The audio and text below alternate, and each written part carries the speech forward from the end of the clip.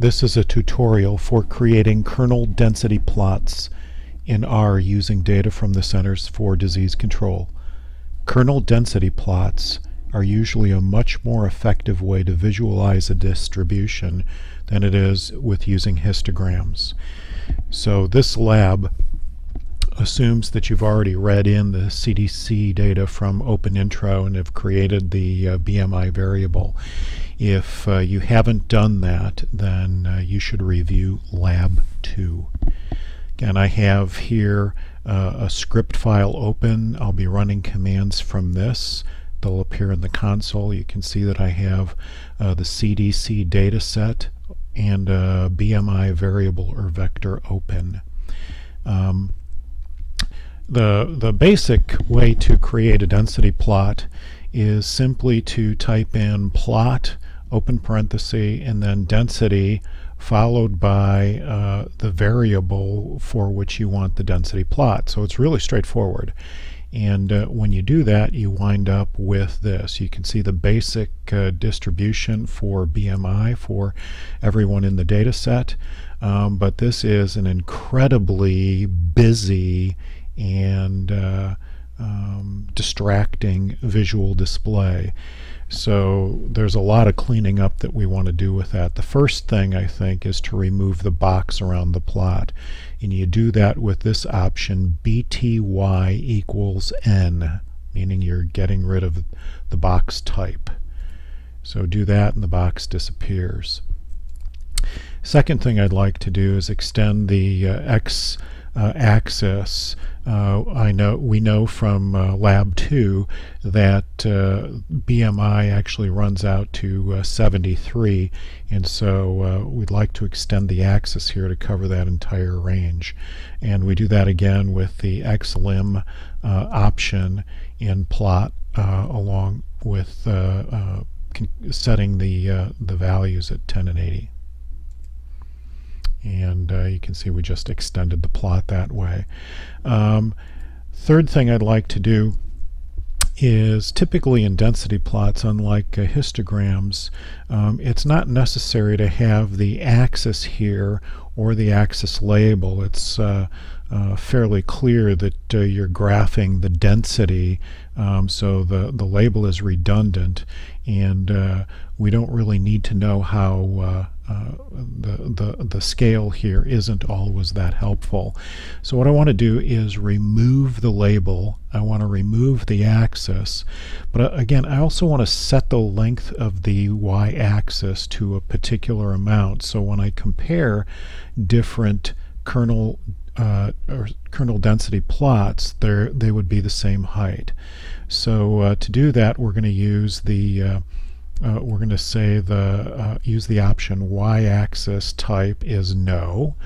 Uh, we want to set the y-axis label to nothing and we want to set uh, the y limit for that axis to 0 and have it go up to 0.1 and I choose 0.1 because that'd be right about here which is just over the top of that. So um, the command that we'll type in is this one you can see that that whole axis disappeared. That's a much cleaner looking uh, graph now. Um, another thing I'd like to do um, with this density plot, I want to make the line of the plot a little bit wider.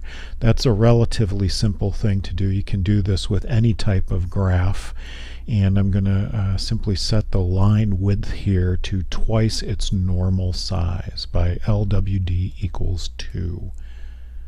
So I'll run that and you can see that that's uh, a little bit thicker. Um, want to change the label again uh, from the n equals 20,000 in the bandwidth. I want it to uh, be clear that it's body mass index that we're talking about. And uh, we're going to do that with the XLab option, just like uh, with histograms.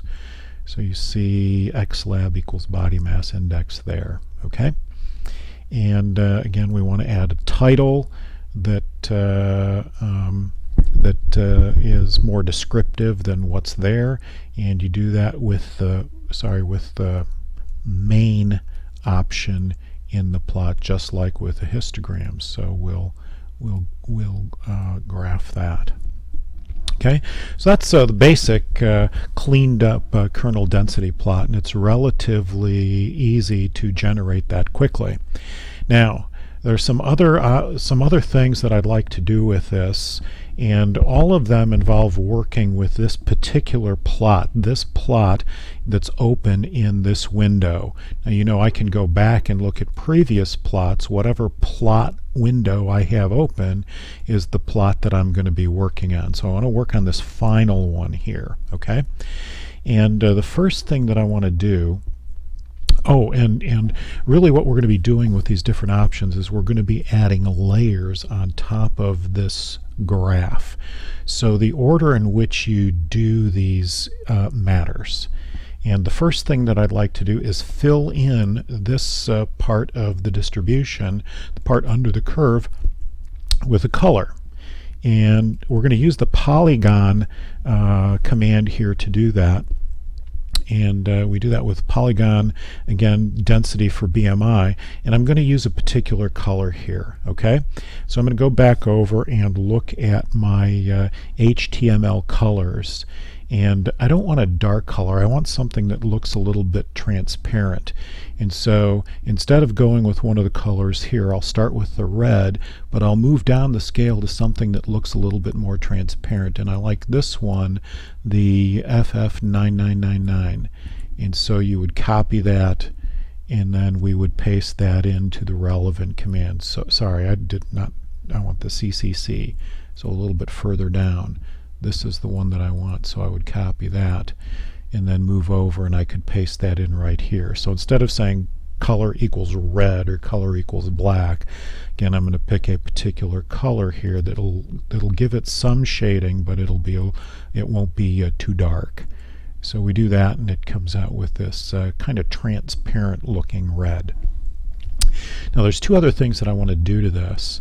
I want to add lines one line uh, one vertical line to indicate the mean of this distribution and another vertical line to indicate the median of this distribution. And to do that you use the uh, command AB line. So AB line V for vertical and I want to set that at a value that's equal to the mean of BMI. So I could type in any number here. I could type in 50. I could say AB line V equals 50 and it would draw a vertical line right here at 50. Uh, in this case I want the, the value for the mean and so I can just say get the value for the mean. Voila uh, a thin black line. Um, what I'd like to do, however, is make that line a little bit wider and uh, uh, not a black color. I'd like to make it a dark gray.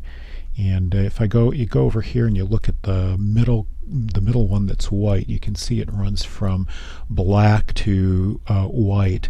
And uh, this gray color, the the 99999, is a nice color. So you would copy that move over and paste that into the color. So AB line, um, the vertical line is equal to the mean of BMI. The width of the line is 2, twice as wide as normal, and the color is going to be dark gray. So I'm going to run that, and you can see a very subtle shift there. Now this is one of those times what I did is I actually wrote over that thin black line. That thin black line is still a layer on this graph. It's underneath this gray line.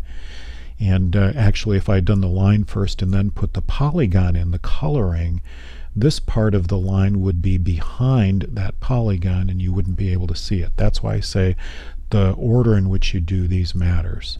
Now one last thing, I want to add a line for the median and I'll make it dark gray, but I want to make it a dashed line. And so I'm going to do that with this uh, kind of the same as before. AB line, uh, vertical line is equal to the median of BMI. It's going to be twice as wide as normal. It's going to be this dark gray, but uh, the line type is equal to 3. And I'll show you uh, line types in a moment uh, where you can uh, find out what they are. But let's run that. And there's the dashed line for the median. So because the median is to the right sorry, the because the mean is to the right of the median, you know that this uh, distribution is a has a longer right-hand tail. Um, anyway, that is how you create uh, density plots in um, R. Excuse me. As for line types, there's a couple different ways that you can find out about that. If you uh, simply type in, sorry, uh, graphical parameters. This will be, this is not a great way to find out uh, what you're looking for with this help on graphical parameters, but uh, you could find that information in there. Another way is with Quick R and go to Advanced Graphics, Graphical Parameters, and uh, you see that there are different plotting symbols, there are different lines, and here are line types, LTY. And this third one is kind of this uh, easy dashed line. So that's uh, how we come up with the plot. Um, again, you know how to create a script file and run that. You know how to copy the graphs uh, from this window and paste them into Word.